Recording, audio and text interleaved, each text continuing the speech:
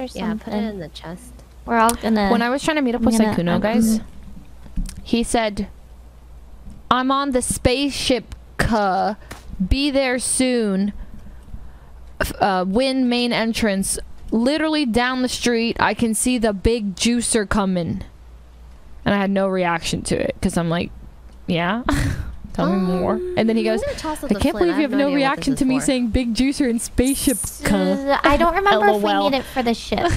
Oh, really? Okay, like- never mind then. Maybe, Like, yeah, we might need it. Maybe You're out of control. Yeah, make another test. He's just, he's just I don't even know what he meant by the spaceship thing. What is that?